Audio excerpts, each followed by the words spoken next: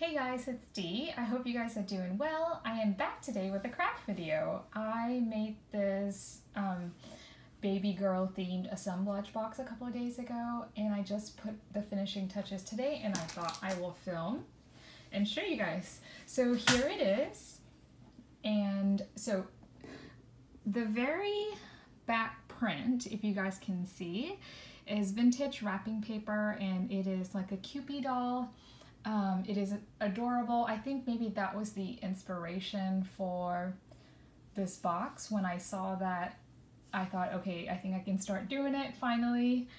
Um, because I think the last box I made might have been in December, so it's been a while. So I have a card that says, congratulations on your new baby girl. Um, and then the girl is like this um, glittery paint. You can see just part of it. And then there's a vintage black and white photo that I found at an antique mall. Um, it was rather large, so I cut it down. And then in the corner here, we have a rattle. And then um, we have a spool here with two different colors. And then the spool, um, you know, has the hole on the top. So I went ahead and just stuck a mirror in there. And that's just like from a vintage dollhouse furniture set. And then, so we have a wooden rocking horse here. And then I have another little card. It says for baby and I glued it in the back so you could still open it kind of if you want to. Let's see, yeah. That's the message that's in there. So I kind of left it like that so you could open it if you wanted to see it. And then we have this doll. It is marked, I think, Hong Kong on the back.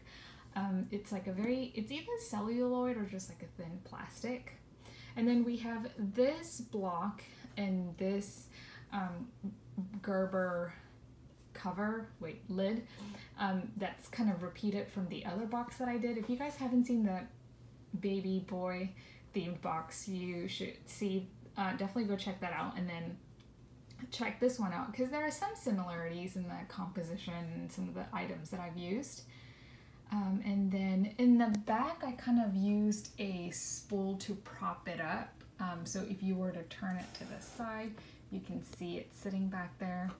Um, I wanted it kind of further in the front than in the back, so that's why I did that. So on the side here, I have this card that says, congratulations on the new baby. I cut it down.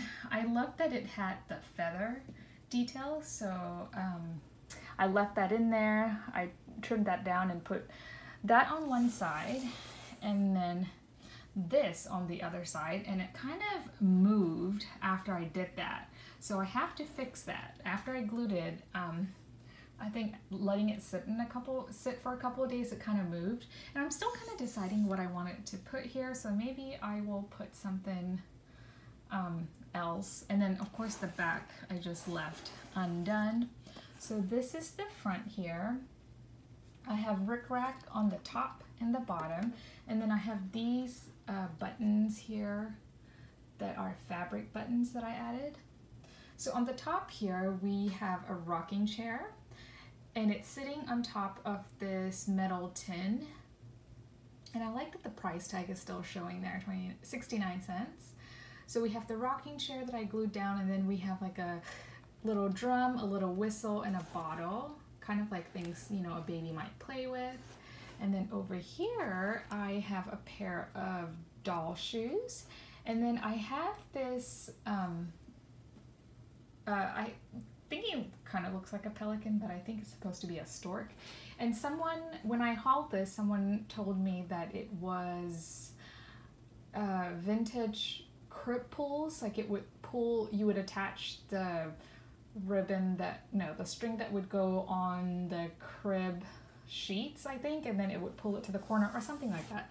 And um, so I thought that fit nicely. And then I have him holding a um, I think it's like a diaper pin maybe. And I was going to hang something on here but I, I wasn't sure if that would hang too low and then like cover the front section. I think if I found something that was like maybe that tall, it would be fun to find something that could go. I know I have a hanger. Um, where is that? But it was blue. I know I have it here somewhere. Let's see. I'm trying to reach here. Um,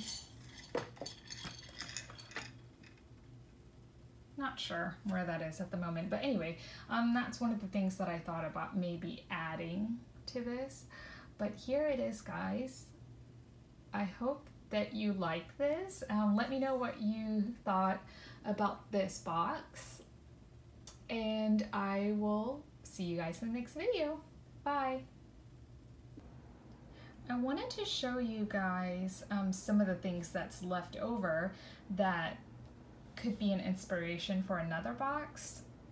That could be, I was thinking like maybe like a girls' tea party type of box. So I had this coaster that I wanted to use with the pink elephant. I thought maybe this could be like a rug to the tea party or maybe like a um, tablecloth. I have to find the table. So I pulled this card to use um, in the box, but it didn't quite fit where I thought it wanted to, so I passed on that. Um, there's this little bow, and then there's another block here. We have a teapot, and that's what made me think maybe I could use the teapot to as like the main theme for the other one. And then here are some random cards that I kind of when I went through my stash and pulled out all the things that I needed, these are some of the ones that I pulled, all the baby ones. So I definitely have a good amount to get started on another box here, so I think I might do that. Um, here is a high chair, and um, it did come with a crib. I'm not sure where the crib is. I'm trying to see if there's a marking here. No marking. Okay, and then we have another rocking chair. We have just this little box that might provide some height. Uh, another rattle here. I think that's a little duck. Some flowers. Another rattle. And then this little girl, I think she might be a candle holder possibly. So maybe she can go in a new box. There was this adorable pacifier that's like uh, um, made like glass, I want to say, or crystal. Um, I also wanted to put this in the box, but it didn't quite make it. So there's that. And then we have another one of those tins. So these are just a couple of things that I had left over. So I think I will maybe try to pull together something to do with um, like a tea party type of thing. Thanks for watching, guys. I will see you guys in the next video.